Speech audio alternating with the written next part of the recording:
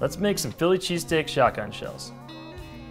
Add vegetable oil and sliced onions to your preheated cast iron and cook your onions until well caramelized and tender. Next, add your leftover brisket, caramelized onions, roasted red pepper, and mozzarella cheese to a cutting board and finally chop it all. Add everything to a bowl along with half your Velveeta cheese and mix it all together. Using your hands, stuff the mixture into your manicotti shells.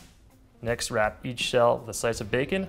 Pro tip, use a toothpick to hold it all together. Make sure to top with Traeger beef rub. Place into a 300 degree Traeger for 50 to 60 minutes or until golden brown. And finally, melt your remaining Velveeta cheese, drizzle over the top, and enjoy.